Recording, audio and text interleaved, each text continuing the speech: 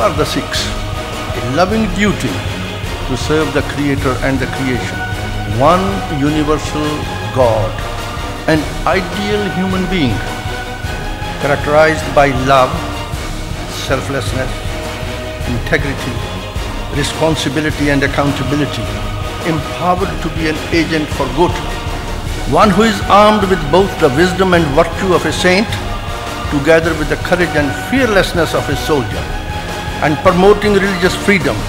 And so may I relentlessly continue to do all that is good and right until my last breath.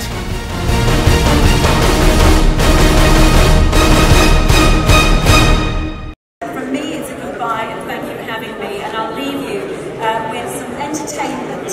Uh, it's called Masterclass Percussion Ensemble. They are three very talented musicians. Do enjoy. Have a safe journey home. Vai, Henrique, calça.